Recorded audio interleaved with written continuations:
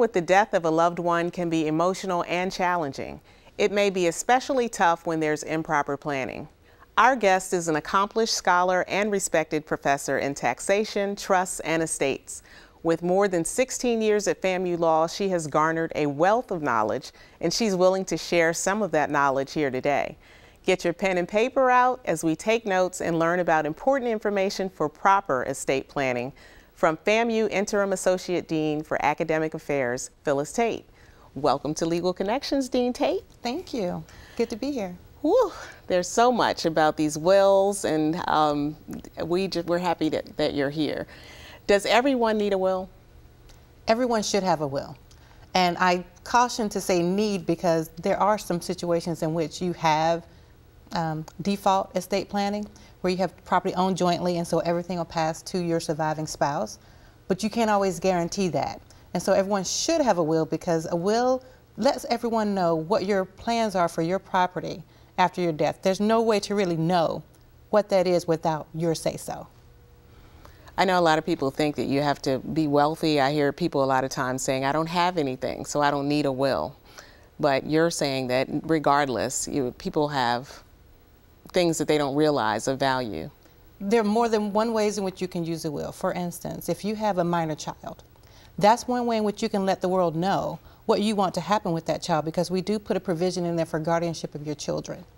Um, there's usually some property that you own that you don't realize needs to be title changed. And if there's anything that you own that needs a title change, doesn't matter the value, you still need to know where you want that property to go. And the will helps facilitate that. Now, if you don't have a will, we can still transfer the property. It just may go in a place where you don't want it to go. For instance, um, if you're with a living person and you guys have gathered or garnered property over years where you've lived together for, let's say, 10 years, but you just decide you don't want to get married, if you die and the property is in your name, that person may end up with nothing. Or if you die and the property is in jointly in both your names but not in the right way, then half of it goes to his family or her family, and then the other half belongs to you. And now you own property with people you have no relationship with, or maybe even a bad relationship with, and you need their permission to sell it, to get a loan against it. So there are different ways in which a will can help, even if you think you don't have any property or you think you're not wealthy enough to need a will. What about the family home? Now, the family home is a little different because if you have it declared as your homestead, it can pass outside of probate. If you have minor children, you can't devise it anyway. But if you have a family home and you're not married, mm -hmm. um, and it's not a homestead, you do get to decide where it goes. And again, if you don't decide in your will, then it's going to go where the state says it should go based on um, history.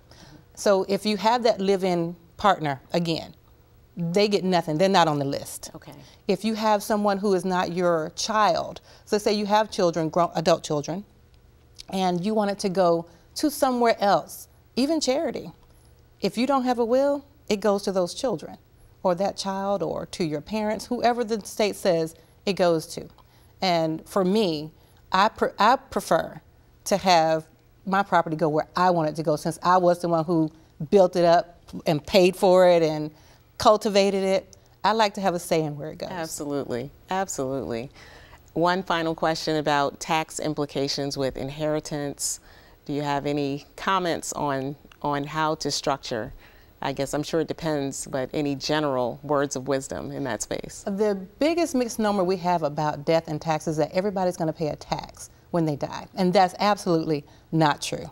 Here in the state of Florida, we don't even have an inheritance tax. So when you get the property from someone through an estate, there's no tax on that. We also don't have an estate tax in Florida.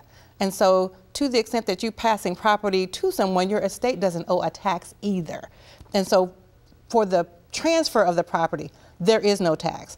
Now there may be some income tax implications, meaning there's some property that is income earning that's going through the estate. And the same way it's taxed to you during life is the same way it would be taxed to someone after death but that's not associated with the death itself. That's associated with the fact that it's income producing property. Thank you so much. I could listen to you all day and I'm really good to see you as always and really appreciate your time this morning. You're welcome. Thank you.